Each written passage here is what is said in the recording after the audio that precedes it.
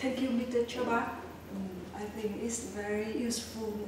Uh, I will have uh, information from you. Um, I uh, wish you have a um, successful year. Thank you so much. Thank you.